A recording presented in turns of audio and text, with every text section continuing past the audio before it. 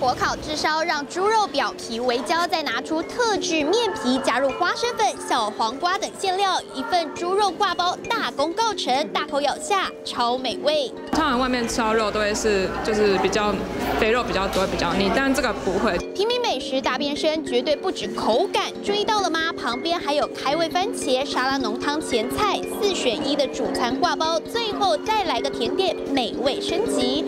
利用巧思，让挂包不再只是路边摊，而是套餐行销。选用最好的在地食材，全部重新打包组装，然后把台湾的美食，希望把它发扬光大。你好，这是柠檬香草乳鸡。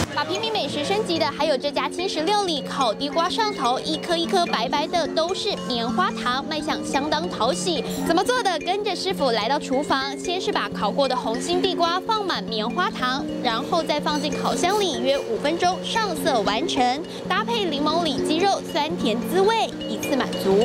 地瓜加上棉花糖，所以会有不一样的香气的一个甜味在。棉花糖的部分去带出它的甜味，然后跟增加它的绵密感。